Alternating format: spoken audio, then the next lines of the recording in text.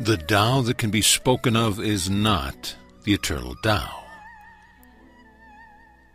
The name that can be named is not the eternal name. The nameless is the beginning of heaven and earth. The name is the mother of the ten thousand things.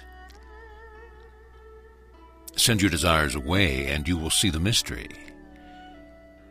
Be filled with desire, and you will see only the manifestation. As these two come forth, they differ in name. Yet, at their source, they are the same. This source is called a mystery. Darkness within darkness, the gateway to all mystery.